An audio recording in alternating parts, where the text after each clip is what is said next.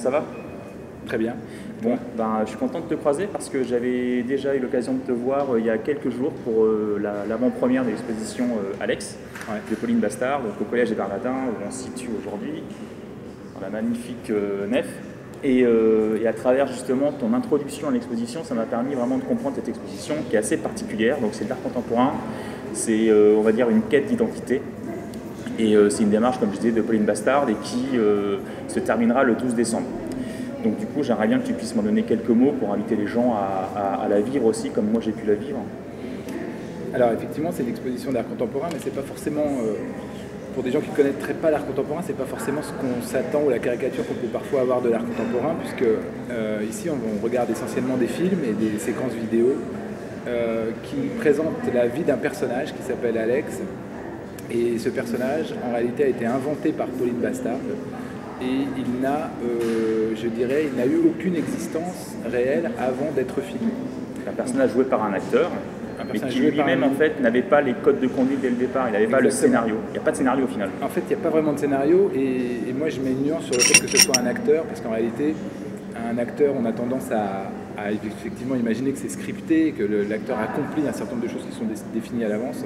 Et ici, c'est pas vraiment ça, c'est une personne qui va incarner Alex, mais c'est pas vraiment un acteur au sens. Euh, il ne va pas jouer Alex.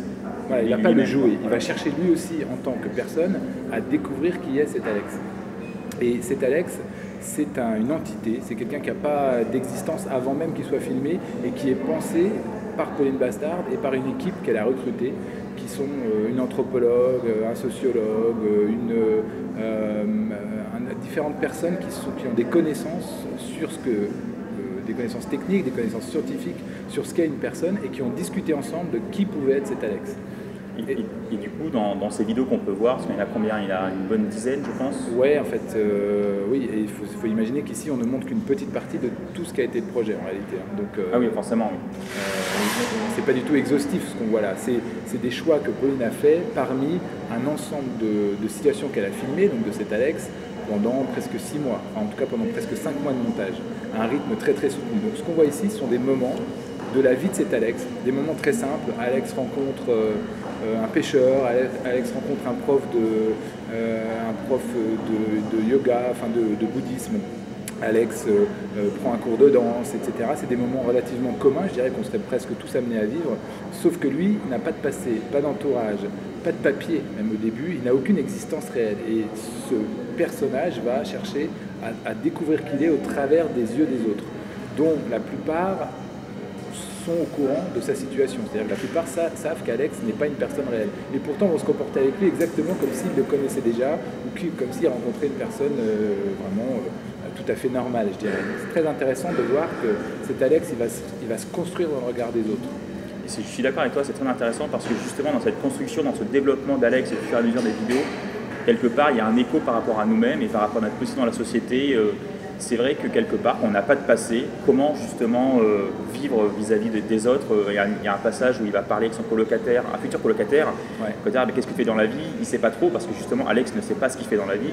Il y a un passage où il va justement expliquer qu'il bah, s'est inscrit à Facebook, mais vu qu'il n'a pas d'amis, donc il ne sait pas qui invité sur Facebook, il y a plein de petites choses comme ça qui permettent nous, de nous positionner dans la société aujourd'hui. Et, euh, moi, il y a un passage qui m'a particulièrement euh, touché, c'est la discussion qu'il a avec un SDF, un artiste aujourd'hui, dont j'ai oublié le nom, tu pourras peut-être me le donner. Et, euh, c'est génial parce que du coup, quelqu'un à qui on ne donne pas forcément la parole aujourd'hui, qui est un SDF, là, on regarde pendant un quart d'heure cette discussion.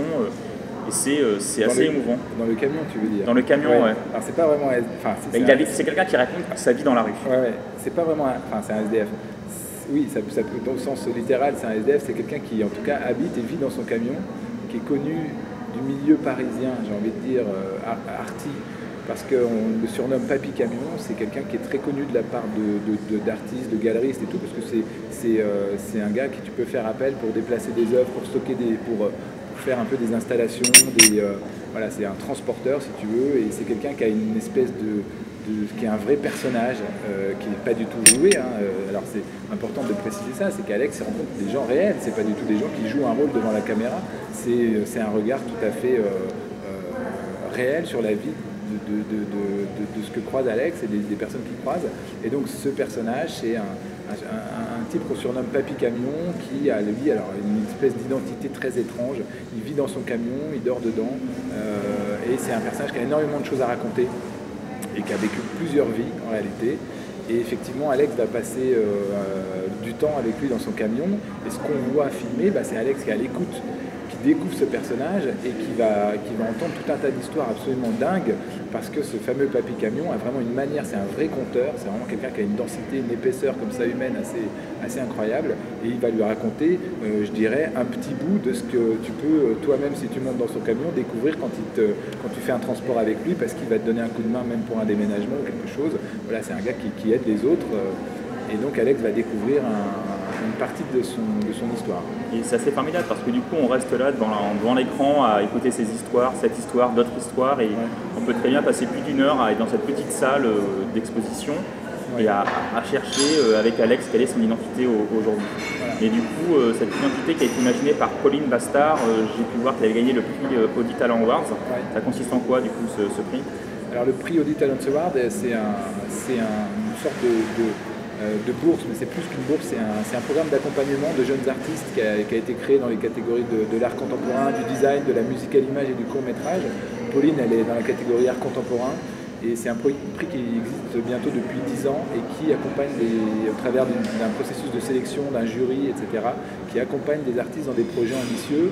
Le projet de Pauline, il est hyper ambitieux parce que, à la limite, ce qu'on voit ici paraît relativement simple. On a des objets, on s'assoit euh, sur des, choses qu'elle a fabriquées, on regarde des films, ça peut paraître assez, assez, assez peu coûteux à réaliser. En fait, c'est quand même beaucoup, Il y a un temps passé qui peut être. Euh, il y, a, beaucoup de moyens parce que ça veut dire qu'il y a un preneur du son, il y a quand même une équipe qu'elle a constituée, il y a toute une organisation à faire sur plusieurs mois de tournage et donc ça a coûté quand même pas mal d'argent et euh, le programme Audit Talent Award est là pour accompagner euh, et récompenser des jeunes créateurs qui ont un projet euh, ambitieux, je dirais, et qui, et qui ont besoin à un moment d'argent pour le réaliser tout simplement. Donc, donc, voilà, elle a bénéficié de ça, elle est lauréate 2014 de ce projet. Et, et, ce qui est très beau, je trouve que c'est un projet pas facile. Tu le disais, c'est quelque chose qui, pas forcément dans les catégories qu'on attendrait, qui nous déplace, qui, vient nous chercher aussi sur notre lecture de l'image, c'est-à-dire qu'est-ce qu'on regarde, comment on regarde la télé, parce qu'en fait ici on regarde la télé, on regarde des écrans, on est, on est dans une position qu'on connaît par cœur, et pourtant on va voir quelque chose qui nous fait regarder le monde, qu'on connaît aussi par cœur, d'une manière qui va être totalement nouvelle au travers de ce personnage. Et je trouve que c'est très bien qu'un programme comme le Talent Award s'engage sur des choses qui sont comme ça assez peut-être un peu insaisissables au premier abord, pas faciles à approcher. Et euh, bah, ils n'ont pas hésité, voilà, ils ont soutenu Pauline, et je dis je trouve que c'est une belle, euh, un beau projet. C'est une belle alliance entre eux et, Pauline.